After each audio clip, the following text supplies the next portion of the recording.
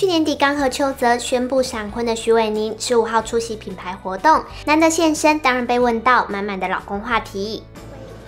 这个的话就是看疫情，因为毕竟现在疫情蛮严重，有的话会跟大家说。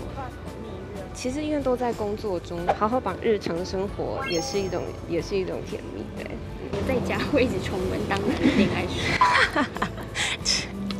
这个问题也太可爱了吧？这呃，你是说，嗯还沙发上看啊？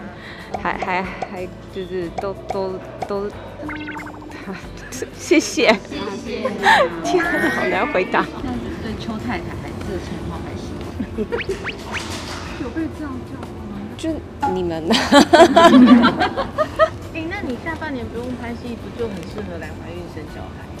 我还有这些工作在身上，也不是说说能就就行的呀。其实好像就都都一切都如常，就是都在工作嘛，就是衔接的，就是我拍完就还他。你该不会十天没见面了吧？差不多，差不多。会会一人睡一间房吗？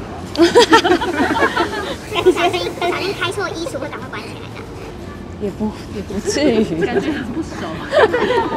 我们两个本来就是比较低调的人，就是也不会去多说一些，就是或者是真的很分享我们的，因为我们觉得这个还是回归到我们自己身上，是静静的享受那岁月静好的感觉。对，我觉得我们都很多方面都蛮相像的。打开衣衣柜，以为去到自己的衣柜。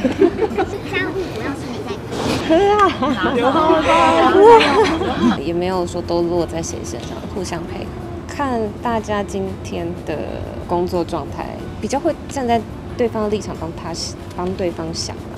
好太太，对，也是好先生。